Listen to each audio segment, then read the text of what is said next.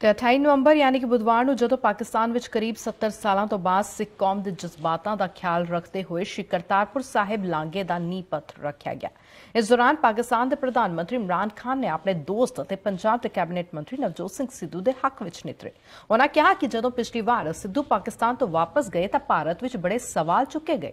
ਉਹ ਕਿਹੜਾ ਕੋਈ ਜ਼ੁਲਮ ਕਰ ਰਹੇ ਸਨ? ਜੇਕਰ ਜੰਗ ਨਹੀਂ ਕਰਨੀ ਤਾਂ ਦੋਸਤੀ ਤੋਂ ਇਲਾਵਾ ਹੋਰ ਕਿਹੜਾ ਰਾਹ ਬਚਦਾ ਹੈ?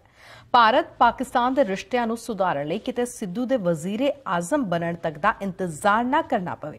ਮੈਂ ਜਦੋਂ ਭਾਰਤ ਗਿਆ, ਮੈਨੂੰ ਬਹੁਤ ਪਿਆਰ ਮਿਲਿਆ ਤਾਂ ਮੈਨੂੰ ਲੱਗਿਆ ਕਿ ਦੋਵਾਂ ਮੁਲਕਾਂ ਵਿਚਾਲੇ ਦੋਸਤੀ ਹੋਣੀ ਚਾਹੀਦੀ ਹੈ। ਪਾਕਿਸਤਾਨ ਦੇ ਪ੍ਰਧਾਨ ਮੰਤਰੀ ਇਮਰਾਨ ਖਾਨ ਨੇ ਕਿਹਾ ਕਿ ਸਾਡਾ ਇੱਕ ਮੁੱਦਾ ਹੈ ਕਸ਼ਮੀਰ, ਕਿ ਅਸੀਂ ਚੰਦ ਉੱਤੇ ਜਾ ਸਕਦੇ ਹਾਂ ਤਾਂ ਇੱਕ ਮੁੱਦੇ ਤੇ ਗੱਲ ਕਿਉਂ ਨਹੀਂ ਕਰ ਸਕਦੇ?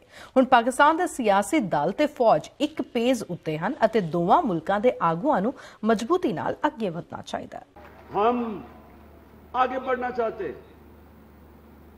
ہم ایک وہ ایک سیولائز ریلیشن شپ چاہتے ہیں۔ ہمارا مسئلہ ایک ہے کشمیر کا۔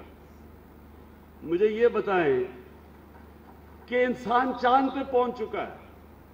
کون سا مسئلہ ہے جو انسان حل نہیں کر سکتا؟ کیا ہم ایک مسئلہ اپنا حل نہیں کر سکتے؟ صرف دو ارادے والی لیڈرشپ چاہیے بارڈر کے ایک دونوں طرف۔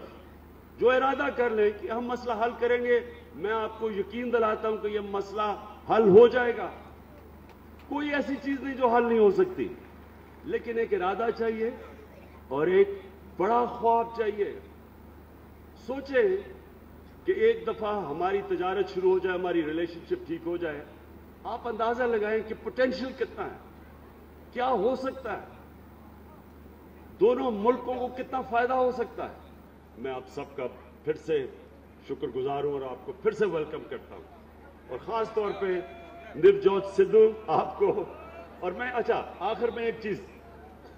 میں جب، میں نے جب دیکھا کہ سدھو واپس گئے پچھلی باری تین مہینے پہلے جب یہ آئے تھے، تو ان کے اوپر بڑی تنقید ہوئی۔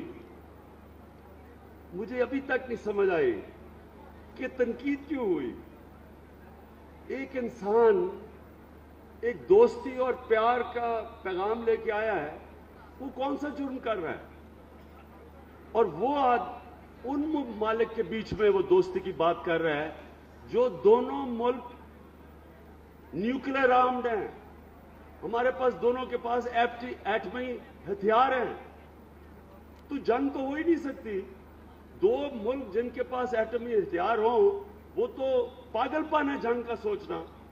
میں یہ امید رکھتا ہوں کہ یہ نہ ہو کہ ہمیں سدھو کی انتظار کرنی پڑے کہ جب وہ وزیر اعظم بنے گا تب دوستی ہوگی پاکستان اور ہندوستان کی۔